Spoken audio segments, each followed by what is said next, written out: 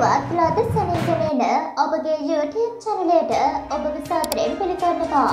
මෙන්න දැන් ලැබුණු තවත් වෙනසුම් පුවතක්.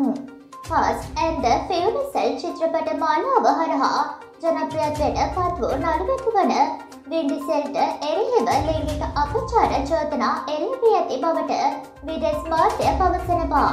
අදාළ චෝදනා සම්බන්ධයෙන් කැලිෆෝනියා අධිකරණයක නඩුවක් ගොඩු කර ඇති අතර ඒ සිදුවීම සිදුවී වසර දහතුනකට පසුවයි. ඔහුට විරුද්ධව මෙලෙස චෝදනා කර ඇත්තේ ඔහුගේ සහයක සිටි ජනසන් නැමති තරුණයක් බවයි වාර්තා වන්නේ. ඇය ප්‍රකාශ කර ඇත්තේ ඔහු දෙදස් දහය වසරේදී තමාට ලිංගිකව හිරිහැරි කර පැය කිහිපයකට පසුව රැකියාවෙන් වෙනපා දැමූ බවයි.